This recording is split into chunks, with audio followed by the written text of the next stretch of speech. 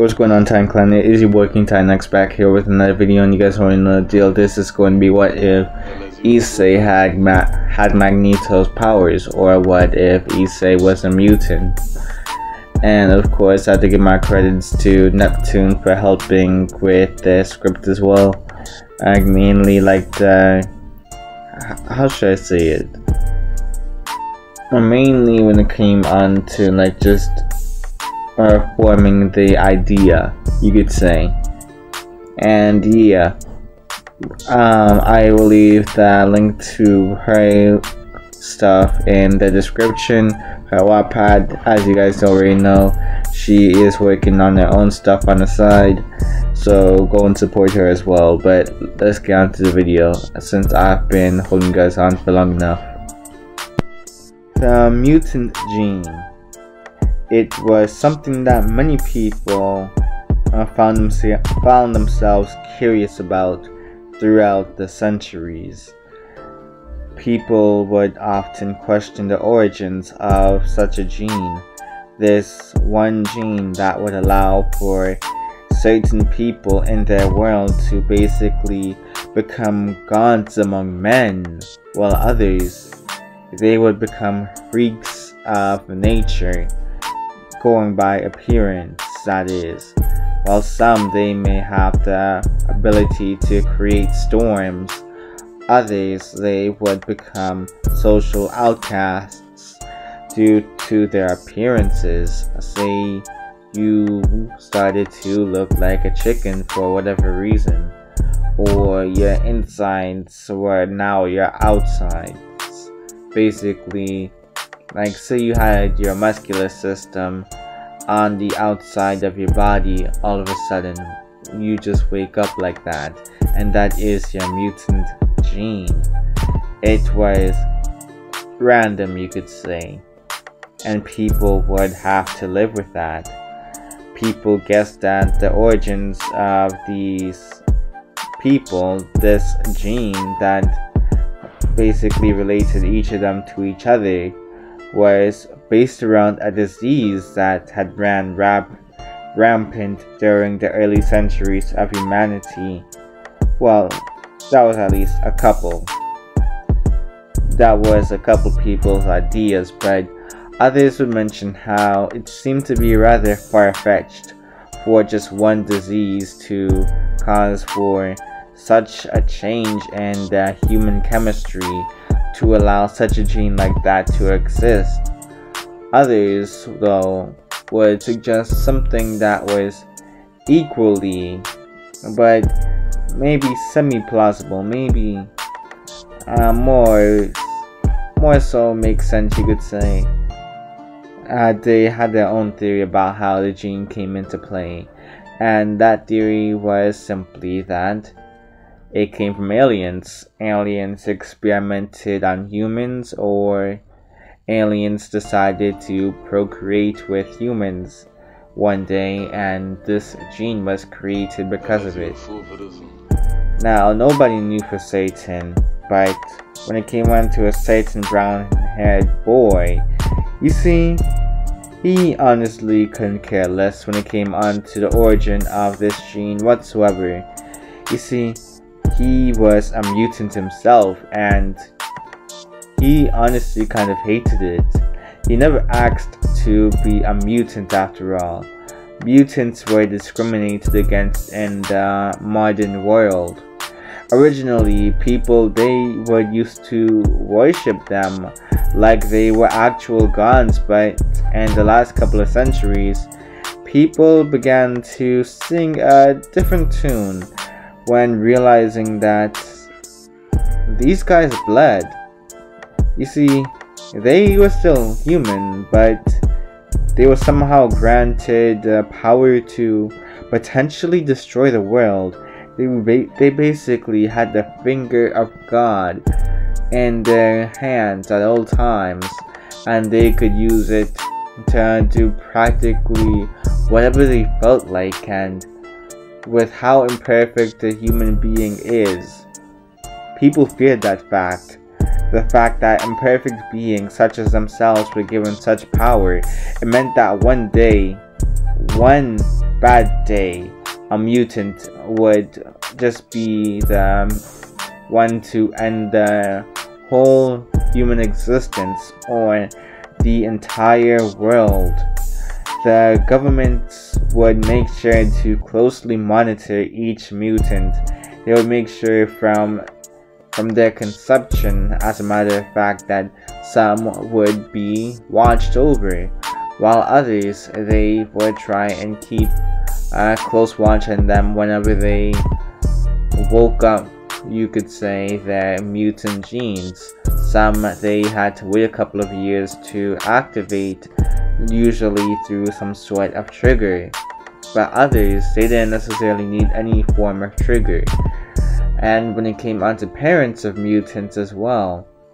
And if the parents themselves were mutants, oh, the government made sure to especially keep a close eye on them because there was, uh, uh, how should I say this, a 95% chance that their offspring was going to be a mutant as well, and with potentially even stronger abilities. And Issei, he was no exception to being watched. Although his parents didn't necessarily have mutant genes or anything that was awakened, you could say, Issei was a different story. Issei at first lived a pretty normal childhood. That was until he reached the age of 8. That was when he first discovered his mutant ability. He was just trying to protect the girl from getting hit by rocks that were being thrown at her by some older kids. The reason for why these kids were throwing rocks at her was because she rejected one of those kids' offer of going out on a date with them. And they would try and take out their embarrassment on the girl by having their friends come and help him throw rocks at her. Probably mentioning how she was a witch or something along those lines. Issei would step in though at the at the very moment he noticed what was going on. He would be hoping to be a hero in this situation and scare away the bullies, but it it really didn't work. I'm I'm gonna be honest. It didn't work at all at first. Instead, he just got pummeled with rocks as well. But everybody had a breaking point, and this was Issei's breaking point. That very day, one of the bullies would actually pick up a brick this time around, and he would throw it at Issei. Time would practically slow down for Issei at this moment. At first, these guys were just throwing pebbles and small rocks, but now, these guys were taking out bricks Issei felt as if his life was really in danger at this moment, and this would have been his trigger. He would lift his hands up, and it felt like something just clicked in his mind at that moment. He would manage to create his very own force field and block the attack at that moment as well. The bullies would freeze, realizing at this moment what this meant. Issei, he was a freak of nature. He he was a mutant the they the the bullies, all of them, they would just run away in fear of the boy and his potential abilities. They did not want to die here. Issei, he would be confused, but he would turn around to face the girl and kneel down to give her a hand. She was on the ground, but she witnessed everything that Issei had just done well, it wasn't really that much, but the fact that he made a force field already, already said enough. Her eyes, they were full of fear. Fear. Fear! she would swat away his hand and she would pick herself up. She would run away as well from Issei, all while calling him a freak. This hurt Issei to be called a freak especially by the person that he was trying to protect. It didn't get much better for me from, from here on out either. You see, word would spread fast about Issei being a mutant and many students would immediately decide to distance themselves from Issei. Most refused to even look in Issei's direction or in the eye throughout the years, except for one person. One person with orange hair. He at first thought this person was a boy though. yeah, they lived close by to each other as well, so the two would usually end up finding themselves hanging out with each other after school. Many people were trying to pick on Erina for, or like, what's it, Irina?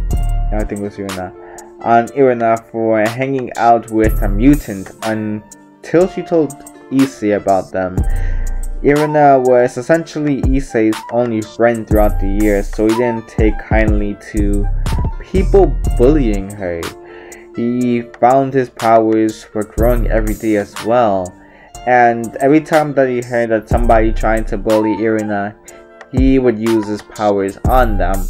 This was basically his way of training of training his abilities, beginning to master each and every last one of them. Issei would become notorious for beating up people that tried to even look at Irina wrong.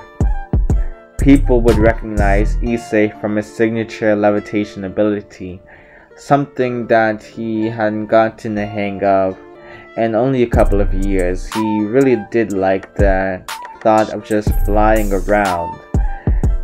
Issei usually levitated practically everywhere as well to always actively train his abilities but this was also meant to show uh, a form of superiority. This was meant to also, well, be a form of confidence boost, you could say. He was trying to always have a false bravado when he tried to levitate. He would always boast about how he was a mutant and how he was better than these weak human beings and that Irina was also better than them because she had wised up to the fact that mutants were just genuine, generally better than regular humans. But everybody knew, well not everybody, but Issei knew on the inside that he was just trying to bluff, you could say. In all honesty, he was still pretty insecure. By the time he and Irina were in high school though, Issei had learned several new skills with the mutant gene he was handed at birth. Sure, he was still still basically a social outcast and the government the government was watching his every move every day but he eventually got somewhat used to it people feared him and for a good reason one of his latest abilities he found out was to literally take control of the iron in people's blood and pretty much just control that person's actions moving forward. To lose control of your body, it was something anybody would find to be terrifying on their own.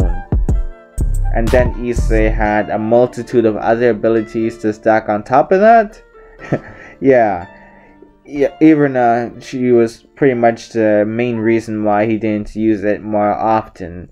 She kept him grounded in a sense and was also the reason why he became confident in his abilities as well.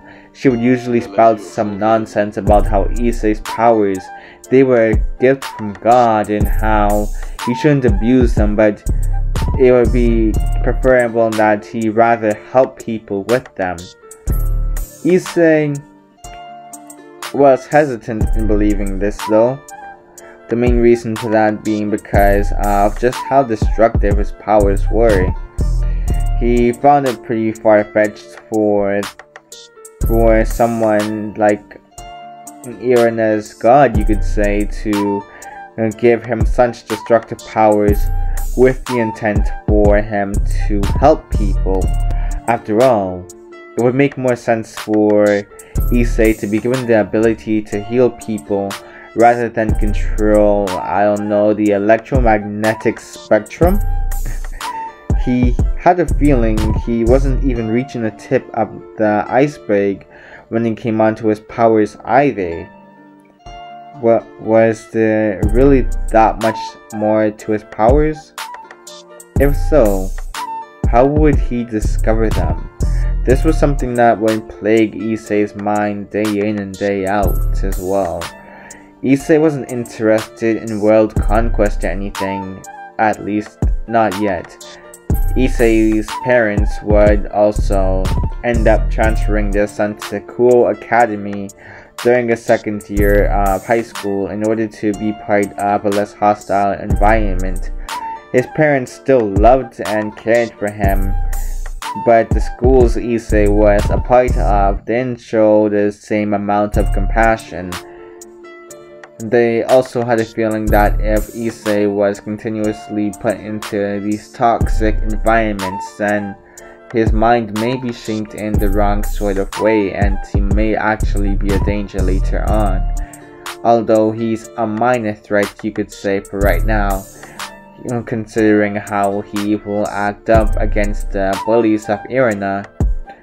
He was nothing that the government should really write home about.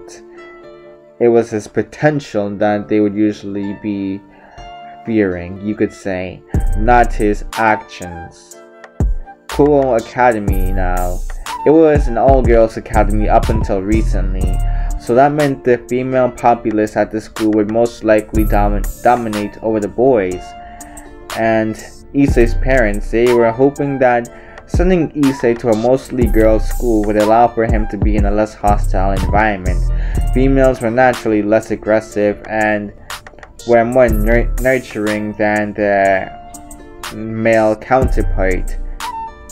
Issei was hesitant was hesitant though until Irina informed him that her parents were also enrolling her into Kuoh Academy, and as long as Irina was with Issei, he would be moderately fine in the new environment. The first week was a bit weird for Issei though, Throughout the, the year, he did have some conflicts, but there were a whole lot less than when he went to a more balanced school in terms of the male to female ratio. The next year, though, Issei would be approached by a girl. She had jet black hair and she would introduce herself as Yuma. She would bring up how she was a foreign exchange student and she was wondering if he could help her find her classes. Issei was a bit hesitant at first, but Irina would poke her head out and actually encourage her friend to help the poor girl. There was a chance he could make some new friends from this interaction as well. Issei would listen to Irina and he would actually try to help the girl find her classes throughout the day. She didn't seem to really be paying attention to all the all the people that were around her and Issei though because a lot of the people they would glance away from Issei mainly out of fear you could say but by the end of the day, Yuma would actually surprise Issei by asking asking him out on a date, and Issei would immediately accept. He was hoping that his luck with women was finally turning around. Yeah, uh, he was still a pervert. yeah, th there wasn't really much changing that, just not that much of a pervert. More so something uh, um, akin to Kakashi, you could say. And although he was asked out on a date and he accepted, there was something in the back of his mind saying that maybe, just maybe, he should stay on alert. Erina was also a bit suspicious of this. It seemed too good to be true. I mean, this foreign exchange girl just walks up to Issei one day mentioning how she's new and that she's looking looking for help in terms of finding her classes and then by the end of the day she asks him out on a date. Issei at this point has never never been on a date he the closest he's ever been on a date is with Irina, and that's when they just went to watch the movies together or something along those lines.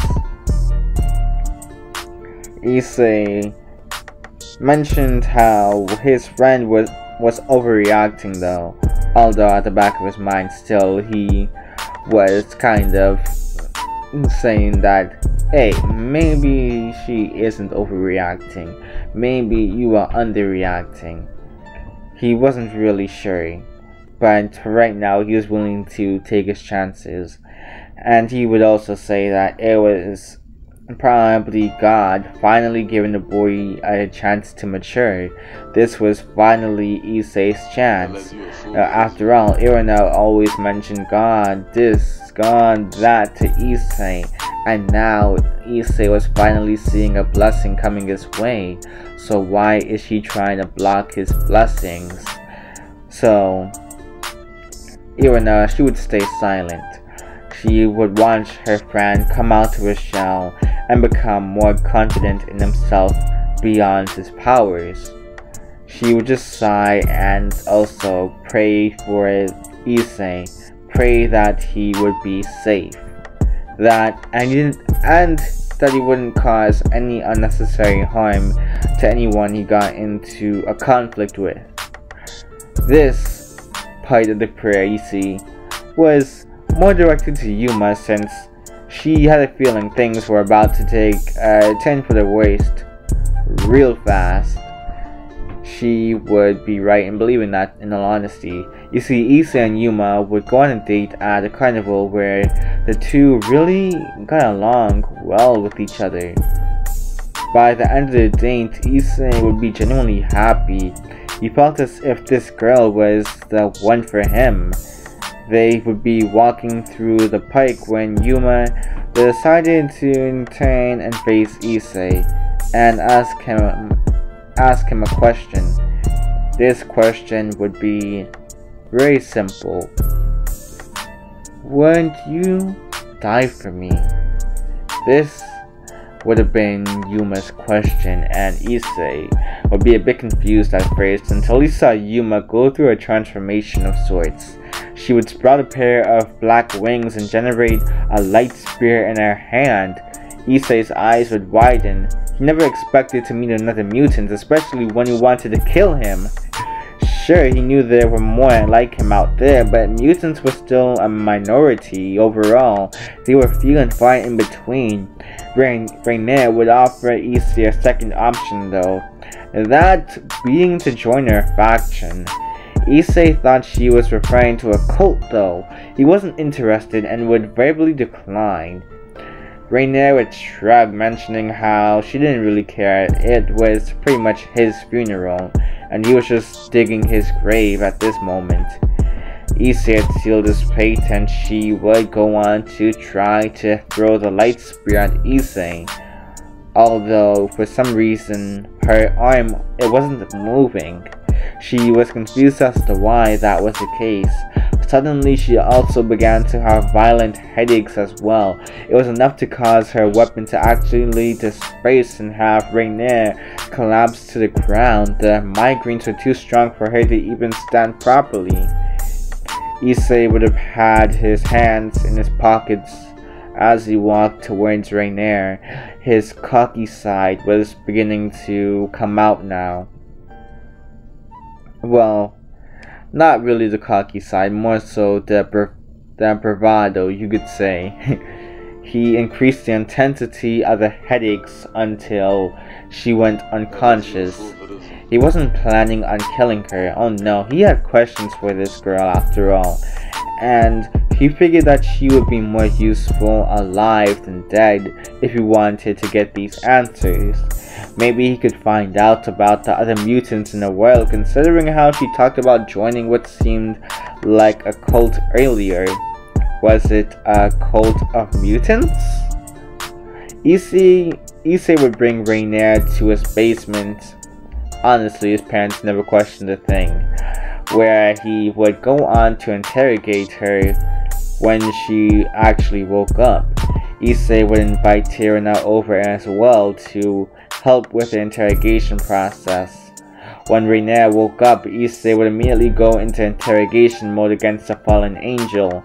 At first, Raynare wanted to refuse to answer Issei's questions, but she would remember how easily Issei dealt with her back then at the park. Even for a mutant, that was unusual. For each question she refused to answer, though, Issei would increase the intensity of the gravity around her. It only took 10 minutes for the girl to actually crack. Despite Raynare, Raynare speaking of there being factions made up of angels, fallen angels, and devils, Issei, he was still pretty, pretty skeptical. He believed that Raynare was telling her truth, keyword her. But it still seemed hard to believe that the religious talk Erina usually talked about turned out to be true. There had to be a catch or something. Perhaps there was another mutant out there that maybe brainwashed Raynare into believing this. After all, it didn't seem that Raynare was all that strong. But maybe Issei was just too strong. He, he wasn't too sure. That was Issei's conclusion, and even then, that was still a bit iffy. He supposed he would have to wait for them to come to him then, if it turned out that it was actually a mutant that brainwashed Raynare, who he assumed was also a mutant at the time. He figured that if he were to let them come to him, then maybe he could get something out of them as well. Especially since he didn't really have much leads at the moment. Raynare, even with her fear of Issei now cemented, was still only a pawn in someone else's grand scheme, and therefore, you see, she didn't have all the answers. A pawn never understood the whole game. A pawn was disposable at best. Issei would act as if nothing happened for the rest of the week while at school, but by the end of the week though, Issei's presence wouldn't be requested by the Prince of, Ko of Kuoh Academy, Kiba. He would explain that the Occult Research Club's president, president Rias, wanted to have a word with him. Issei would find this to be rather odd. What would the most popular girl in the school want with a nobody like Issei. Or really loner, I should say, like Issei, since, well, many people did know about who Issei was, but many people, they didn't want to associate with him. Irina also had her suspicions as well. Did Rias want to use Issei's powers or something. It was well known in the school that Issei was a mutant, but people usually just tried to avoid him, so to hear this girl actively try and, and get his attention was weird. And so, when Issei actually walked up to the front, well, not to the front, but to the Occult Research Club, he made sure to, well, bring Irina just in case he would actually meet and talk to Rias for the first time. This would be the beginning of a whole new story for Issei, especially when Rias was actually fully clothed and, well, looking deeply into Issei's eyes she had a serious expression, and this would simply be one thing that she would ask. Well, would you like to join my peerage? And yeah, that's all I have for right now, Time Planet. Is your boy King TitanX sign out. You guys already know the deal. If you like the video, uh, leave a like, maybe comment maybe comment a couple of things. And if you've been rocking with my content for a little while now, hey, you may as well just share this video and subscribe. But yeah, that's all I got for right now, Titan Clan. It's your boy King. Next time out. Peace.